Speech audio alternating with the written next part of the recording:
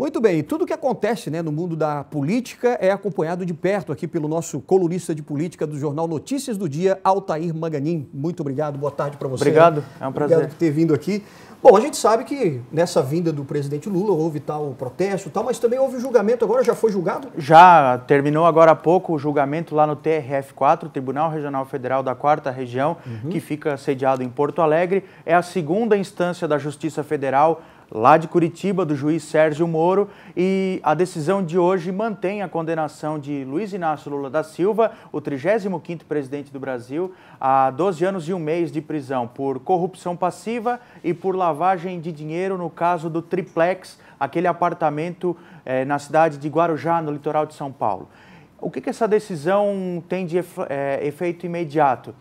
É, por enquanto nada. Temos que esperar até o dia até 4, o dia 4 né? né? porque o Supremo Tribunal Federal vai julgar um habeas corpus pedido pela defesa de Lula é, para impedir essa prisão. O, e o que, mas é, tem sim um efeito importante a decisão de hoje. Lula está condenado definitivamente em segunda instância.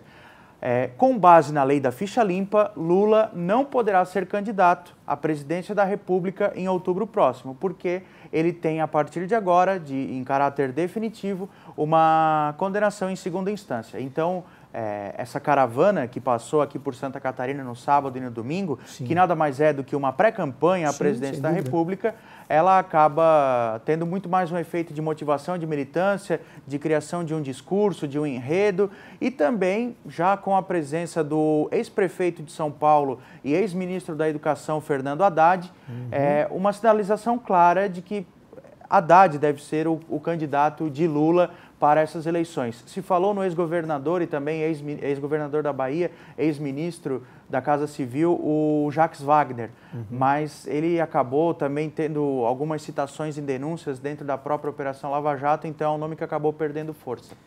E essa passagem por Santa Catarina né, foi bem movimentada, pois como é, a gente até, viu nas imagens. Eu até ia lhe perguntar, e o tal do, do, do, título honorário aqui de cidadão catarinense, como é que ficou isso? Foi, foi entregue aqui em Santa Catarina, aqui em Florianópolis, é, no ato, o ato público, né, que aconteceu ali, estava marcado para meio-dia, começou por volta da uma hora, uma e meia, uhum. é, mas foi de uma maneira informal, né, porque o que acontece? É, antes, houve um ato lá na sede da Assembleia Legislativa, no Palácio Barriga Verde, ato fechado à imprensa, inclusive ao longo da semana não foi divulgado onde Exato. seria esse, esse evento, justamente para impedir. A gente sabe que é, teve até algum, algumas, é, algum, manifestações, é, manifestações né, na frente, ali na frente e um processo de não foi permitido o acesso da imprensa ali uhum. a esse ato. E o que, que o presidente da Assembleia, o Aldo Schneider, deputado Aldo Schneider do PMDB, determinou lá na terça-feira?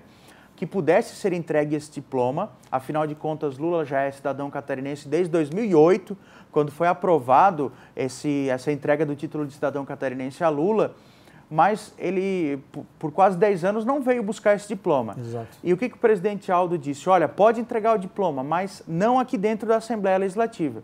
Então, esse diploma foi entregue em uma, uma cerimônia assim, informal, de uma maneira informal, é, lá na Praça 15, ah, né, no, no Largo da Catedral é, no, de uma maneira assim, sem. Sem nenhum alarde. Mostrando até um desprestígio do presidente para esse título. Eu, particularmente, acho hum. que, a exemplo de o que aconteceu com o Gedel Vieira Lima, de que teve a medalha Anitta Garibaldi caçada, Sim. nenhum político corrupto, nenhum político condenado por corrupção, como nesse caso, eventualmente nesse caso, é a situação de Lula, merece uma honraria catarinense, seja ela uma medalha como a Anitta Garibaldi, que é a mais alta honraria, claro. seja ela um título de cidadão honorário. E a tendência é que esse título seja cassado pela Assembleia. Já tem pelo menos uhum. três deputados iniciando esse movimento e um que chama a atenção e que vai mais ou menos nessa linha do que eu comentei é do uma iniciativa do deputado Marcos Vieira do PSDB que pretende contestar todos os títulos entregues a políticos, a empresários, enfim, a personalidades que uhum. foram agraciadas, mas que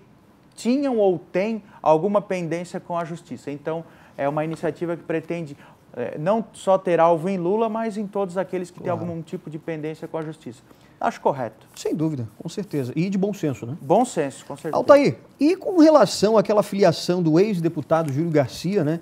Ao PSDB. O que, que, isso significa? Na verdade, é uma já divisão no partido, é isso? É, foi um ato bem importante que aconteceu em Criciúma, no sul do estado, também no sábado. A filiação do ex-deputado estadual, ex-presidente da Assembleia Legislativa e ex-conselheiro do Tribunal de Contas, uhum. desempenhou esse trabalho durante os últimos oito anos, Júlio Garcia. Ele confirmou, assinou a ficha de filiação ao PSD, ele que entra com um discurso forte, sempre foi, sempre foi considerado um articulador importante, uhum. mas a partir de agora passa a defender que o PSD reveja o seu projeto para o governo do estado. Ele é muito é, pontualmente muito crítico ao uhum. projeto encabeçado por Gelson Merizio, que é até por enquanto o único pré-candidato do partido uhum. é, ao governo do estado.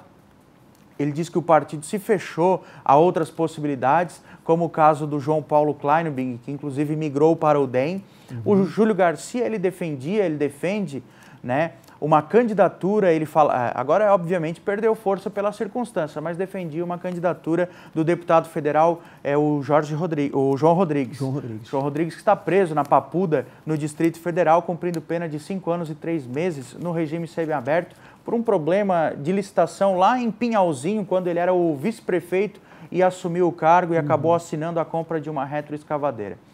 Ele então entende que o partido precisa se abrir para outros projetos, para outros caminhos, e foi um ato é, muito prestigiado. O, o, salão de eventos lá onde aconteceu esse ato em Criciúma estava bastante lotado, uhum. e aí mostrou exatamente a clara divisão nesse momento no PSD catarinense. É, isso com ainda uma comparação do que aconteceu na quinta-feira, lá em Canoinhas, com o ato de filiação do deputado estadual, o Antônio Aguiar. Ele era do PMDB, migrou para o PSD. Lá em Canoinhas, o Gelson Merizes estava presente, assim como outros deputados, e o governador Raimundo Colombo, em discurso, é, disse que o partido precisa fortalecer o nome de Gelson Merizio como candidato ao governo do. Estado. Aliás, ele já está avaliando também o governo do Pinho Moreira, né? É, exatamente. E o que aconteceu em Criciúma? Só para uhum. finalizar, o Colombo é, não, não citou em nenhum momento o nome de Gelson Merizio. É, uhum. É, continuou falando que o partido precisa buscar unidade, mas enfim, fez, um fez dois discursos diferentes, cada um para a ocasião. Mas é sim Colombo o nome que pretende, é, até pela, pela viabilidade que tem, pela, pelo fato de ser o governador do estado e candidato ao Senado, o nome que pode afunilar a situação do PSD em relação ou a uma candidatura Merizio ou apoio a algum outro projeto. Então, Colombo, a partir de agora, ele passa a trabalhar é, mais as questões partidárias, não só uhum. a candidatura dele ao Senado, como também a união de todo o partido. E aí, lá em Criciúma, o, o agora governador licenciado, né, por enquanto governador licenciado, deve renunciar no dia 6 uhum. e fazer um ato, um grande evento, uma festa, um balanço do mandato em Lages no dia 7 de abril, uhum. é, em, aí reunindo a militância de todo o estado, lançando pré-candidatura ao Senado e possivelmente também endossando o nome de Gelson Merizio à pré-candidatura ao governo do estado. Mas questionado sobre como avalia o governo de Eduardo Pinho, Pinho Moreira, pelo menos nesse período de interinidade, no qual Moreira é o governador em exercício, ele disse que aprova as iniciativas, as medidas, diz que é, algumas questões foram conversadas previamente, questão das secretarias regionais, entende que o, o, o vice-governador, hoje governador, tem a legitimidade para fazer as mudanças que achar necessárias e também respeita essas mudanças. Aí questionado numa réplica sobre o que, que ele imagina, é, se ele estaria chateado com as mudanças que o Eduardo Pinho Moreira fez, uhum. principalmente a questão das regionais, ele disse que não tem o direito de ficar chateado. Uhum. Diz que o governador Eduardo Pinho Moreira pode tocar o governo à sua medida. É, o secretariado já foi praticamente todo recomposto, é, as mudanças estruturais é, já foram mais ou menos feitas, tem alguns, algumas questões pontuais, como a questão da presidência da Casan, presidência do Badesc e da Cidasc, que devem ser resolvidas nessa semana, inclusive, uhum. com outras nomeações, mas a saída de Raimundo Colombo e a entrada de Eduardo Pinho Moreira já é algo tratado como definitivo e Eduardo Pinho Moreira tem, é, tem do, faz dois movimentos importantes, né, desde que assumiu no finalzinho de fevereiro e intensificando a partir de agora, que é dar ritmo ao governo, afinal de contas tem um mandato de 10 meses, e também, nesse meio tempo, se a conjectura política permitir e viabilizar, ele colocar o seu nome à disposição para uma pré-candidatura ou uma candidatura à reeleição ao governo do Estado. Mas esse é um assunto aí para os próximos dias. Com certeza. Altair, muito obrigado pela tua presença aqui. Obrigado, ficamos à disposição. de política aqui do Jornal Notícias do Dia. Obrigado mesmo. Obrigado.